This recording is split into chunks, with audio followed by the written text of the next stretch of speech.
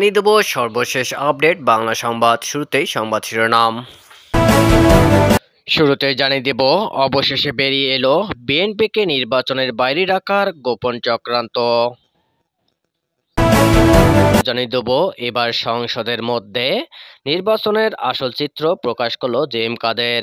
তিনি বলেন, কোথাও কোথাও নির্বাচনের ফলাফল ছিল পুনর্নির্ধারিত। তার বক্তব্যের সময় সংসদ সদস্যরা হইচই শুরু করে। শেষে জানিয়ে দেব, জাতীয় পার্টিতে আবারও ভাঙন। নতুন নেতৃত্বের ঘোষণা দিল জাতীয় পার্টি রওশনপন্থীরা নেতৃত্বে আসছে এরশাদের ছেলে সাদ।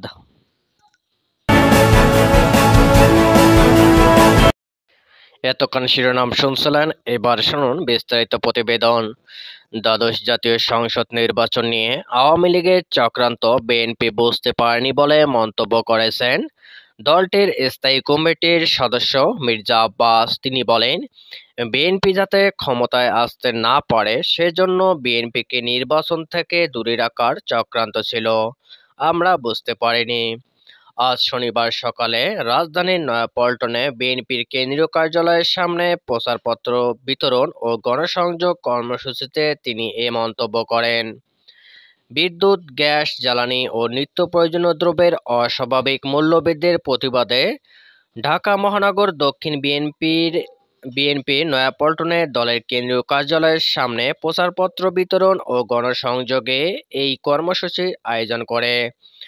কর্মসূচির উদ্বোধন করে মির্জা আব্বাস বলেন, আঠাশে আঠাশ তারিখ অর্থাৎ আঠাশে অক্টোবর ছক কষে চক্রান্ত করা হয়েছিল। বিএনপিকে নির্বাচন থেকে দূরে রাখার জন্য এই চক্রান্ত ছিল দুই বছর আগে থেকে নকশা তৈরি করে বেছে বেছে আমাদের নেতা কর্মীদের গ্রেফতার করা হয়। আমরা বুঝতে পারিনি, বোঝার ভুল হয়েছিল। বিএনপির এই নেতা আরও বলেন, অনেক নেতাকর্মী জেলে গেছেন, একটা মামলা নিয়ে আর বেরিয়েছেন বিশ থেকে বাইশটা মামলা নিয়ে। আওয়ামী লীগ এদেশের জনগণে কোনো দাবি মানেনি। কারাগারে বিএনপির নেতাকর্মীদের নির্যাতনের অভিযোগ করেন মির্জা আব্বাস। তিনি বলেন, রাজনীতি করার কারণে অনেকবার জেলে গেছে, কিন্তু এবারের মতো করুণ অবস্থার কথা বর্ণনা করতে পারব না। বিএনপির লোকজনের উপর নির্যাতন ও অত্যাচার সীমা ছাড়িয়েছে। এরপরেও নেতাকর্মীদের, নেতাকর্মীরা মনোবল হারায়নি জানিয়ে তিনি বলেন, গণতান্ত্রিক পদ্ধতিতে ও অসিংহ অহিংস আন্দোলন মানুষের বাক স্বাধীনতা ও ভোটের অধিকার আদায়ের জন্য চলবে। গণতান্ত্রিক আন্দোলন সাময়িক বাধাগ্রস্ত হতে পারে, কিন্তু কখনো ব্যর্থ হয়নি। নেতাকর্মীদের উদ্দেশ্যে মির্জা আব্বাস বলেন, নিজের মধ্যে মনোবল রাখতে হবে। নিজেদের আরও ঐক্যবদ্ধ হতে হবে আর নিজেদের ভেতরেও গণতান্ত্রিক চর্চা করতে হবে। আপনারা অনেক অত্যাচার সহ্য করেছেন, আরও সহ্য করতে হবে। কত সহ্য করবেন? বলা যাবে না। তবে হাত পা ভেঙে গুঁড়া করে দেওয়া হবে, এটা কোনো রাজনীতি হতে পারে না। পরবর্তী প্রজন্ম আন্দোলনে এগিয়ে এলে এই ফ্যাসিস্ট সরকারের পরাজয় হবেই বলে মনে করেন তিনি। এদিকে দ্বাদশ জাতীয় সংসদ নির্বাচনে ভোটের হার নিয়ে সংশয় প্রকাশ করে বিরোধী দলীয় নেতা জি এম কাদের বলেছেন, দ্বাদশ জাতীয় সংসদ নির্বাচনে তিন ধরনের নির্বাচন হয়েছে। এর মধ্যে কোথাও কোথাও নির্বাচন যেভাবেই হোক, ফলাফল পুনর্নির্ধারিত ছিল এবং ফলাফলের সিট বানিয়ে দেওয়া হয়েছে বলে তিনি অভিযোগ করেন। মঙ্গলবার জাতীয় সংসদে রাষ্ট্রপতির ভাষণের উপর আনা ধন্যবাদ প্রস্তাবে আলোচনা এবং দ্বাদশ জাতীয় সংসদ, সংসদে প্রথম অধিবেশনের সমাপনী ভাষণে জি এম কাদের এসব কথা বলেন। তার বক্তব্যের সময় সরকারি দলের এবং স্বতন্ত্র সদস্যরা কয়েক দফা হইচই করে প্রতিবাদ জানান। জি এম কাদেরের জি এম কাদের তার বক্তব্যে নির্বাচন, দুর্নীতি, ব্যাংক খাত, বাজার সিন্ডিকেট সহ নানা বিষয়ে সরকারের সমালোচনা করেন। তার বক্তব্যের সময় একাধিকবার সরকারি দল ও স্বতন্ত্র সংসদ সদস্যরা হইচই করে বাধা সৃষ্টি করেন। শেয়ার ডক্টর শিরিন শারমিন চৌধুরী চেষ্টা করে চেষ্টা করেও তাদের পুরোপুরি থামাতে পারেনি। সরকারি দলের সদস্যদের হইচইয়ের জবাবে বেশিরভাগ সময় জেএম কাদেরকে হাসতে দেখা যায়। জেএম কাদের বলেন, তার মনে হয়েছে তিন ধরনের নির্বাচন হয়েছে। কোনো কোনো এলাকায় নির্বাচন শতভাগ সুষ্ঠু হয়েছে। সেখানে সরকারের সদিচ্ছা ছিল। সাধারণভাবে এখানে প্রতিযোগিতাহীন নির্বাচন হয়েছে। সেখানে কোনো শক্ত প্রার্থী ছিল না, তবে ভোটারের উপস্থিতি কম ছিল। আরেকটা হয়েছে ফ্রি স্টাইল সেখানে অর্থ ও পেশি শক্তি পেশি শক্তি অবাধ ব্যবহার হয়েছে। সেখানে সরকারি দল, বিরোধী প্রার্থী ও জাতীয় প্রার্থী শক্ত প্রার্থী ছিল। জি এম কাদের বলেন, আরেকটা ছিল আরেকটা ছিল যেটা যেটা নিয়ে ব্যাপক অভিযোগ হয়েছে অনেক নেতা কর্মী প্রার্থীদের। ইলেকশন যেভাবেই হোক, ফলাফল একটা পুনর্নির্ধারিত ছিল এবং সিট বানিয়ে দেওয়া হয়েছে। সরকারি দলের সদস্যদের ব্যাপকভাবে এই বক্তব্যের প্রতিবাদ জানা, জানাতে থাকলে জি এম কাদের হেসে হেসে বলেন, এটাও হতে পারে। ভোটের হার নিয়ে সংশয়।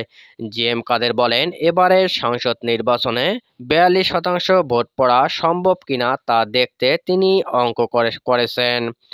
যে প্রেক্ষাপটে ছিল তাতে বিয়াল্লিশ শতাংশ ভোট পড়তে হলে সব ভোট কেন্দ্রের সামনে আট ঘণ্টা লাইন থাকার কথা, কিন্তু তা ছিল না। তার এই বক্তব্যের সময় সংসদ সদস্যরা আবার হইচই শুরু করেন। এরপর তিনি বলেন, অনেকে বলেছেন ঘণ্টা তিন চারটার বেশি ভোট হয়নি। আমি আমার কথা বলছি না, ধারণা করছি এবং সাধারণ লোকের কথা বলছে। যে জে এম কাদেরের এই বক্তব্যের সময় সংসদ সদস্যরা আবারও হইচই করতে থাকেন। তখন বিরোধী দলীয় চিফ হুইপ মুজিবুল হককে বলতে শোনা যায়, শুনেন না, ধৈর্য ধরেন। পরে জি এম কাদের বলেন, সিংহভাগ মানুষ মনে করে ভালো নির্বাচন হয়নি। সঠিকভাবে জনমতের প্রতিফলন হয়েছে বলে সিংহভাগ মানুষ মনে করে না। তিনি মনে করেন, নির্বাচনে আইনকানুন ব্যাপকভাবে লঙ্ঘিত হয়েছে। যাদের দেখার কথা, তারা অনেক ক্ষেত্রে এড়িয়ে গেছেন, অনেক সময় লঙ্ঘনে সহায়তা করেছেন। জে এম কাদারের এই বক্তব্যের সময়ও সংসদ সদস্যরা হইচই করতে থাকলে স্পিকার বলেন, মাননীয় সংসদবৃন্দ ওনাকে বলতে দিন। স্পিকারের অনুরোধের পরেও সরকারি দল ও স্বতন্ত্র সদস্যরা হইচই করতে থাকেন। এই সময় কোনো একজনকে, কোনো একজন সদস্যকে বলতে শোনা যায়, জামায়াত, বিএনপি ও তারেক রহমান বক্তব্য দিচ্ছে আজকে। অনিশ্চিত ভবিষ্যৎ। আওয়ামী লীগ, বিএনপির একটি দল না এলে অংশগ্রহণমূলক নির্বাচন করা কঠিন বলে উল্লেখ করে জাতীয় পার্টির চেয়ারম্যান জি এম কাদের। তিনি বলেন, সব দল যদি নির্বাচনে আসে এবং বাধাশূন্যভাবে ভোট হয়, সেখানে পনেরো শতাংশ ভোট হলেও গ্রহণযোগ্য। তিনি বলেন, রাষ্ট্রপতি বলেছেন, নির্বাচনে জয় হয়েছে জনগণের গণতন্ত্রের। কিন্তু তার জানা মতে বেশিরভাগ দেশের বেশিরভাগ মানুষ একথার সঙ্গে একমত নন। এই নির্বাচনে শুধু জয়ী হয়েছে সরকার ও সরকারি দল। এদিকে দলের জাতীয় সম্মেলন করে নতুন কেন্দ্রীয় কমিটি আংশিক গঠন করেছে রওশন এরশাদের নেতৃত্বাধীন জাতীয় পার্টি। এতে রওশন এরশাদকে চেয়ারম্যান এবং কাজী মামুনুর রশিদকে মহাসচিব হিসাবে নির্বাচিত করার ঘোষণা দেওয়া হয়। সম্মেলনে এরশাদের ছেলে রাহগীর আল মাহি এরশাদ ওরফে সাদ এরশাদকে দলের অন্যতম কো চেয়ারম্যান করা হয়। রওশনের অবর্তমানে সাত দলের চেয়ারম্যানের দায়িত্ব পালন করবে বলেও সম্মেলনে ঘোষণা দেওয়া হয়। আজ শনিবার রাজধানী ইঞ্জিনিয়ার ইঞ্জিনিয়ার্স ইনস্টিটিউশন প্রাঙ্গণে দশম জাতীয় সম্মেলনে আয়োজন করে রওশনের নেতৃত্বাধীন জাতীয় পার্টি। দলে অন্যান্য পদের মধ্যে কাজী ফিরোজ রশিদ নির্বাহী chairman, Abu Hossain Babla senior co chairman Saidur Rahman Saidur Rahman, Shafiqul Islam Islam, Saad Ershad, Golam Sarwar ও সুনীল সুবরায়কে কো চেয়ারম্যান হিসেবে নির্বাচিত করা